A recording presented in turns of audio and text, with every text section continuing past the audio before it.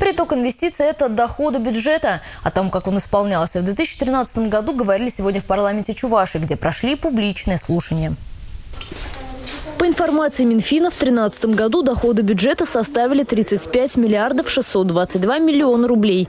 Расходы на 1 миллиард 170 миллионов больше. Дефицит по итогам года был сокращен в два с половиной раза. Собственные доходы 57%, из них большая часть – налоги. Плановое назначение по таким доходам за 2013 год, по словам Светланы Енилиной, исполнено на 101,5%. Сверх плана поступил бюджет 301 миллион. При этом, подчеркнула министр финансов, государственный долг на 1 января 2014 года по сравнению с уровнем прошлого был снижен и составил 9 миллиардов 827 миллионов рублей, что меньше запланированного уровня на 8%.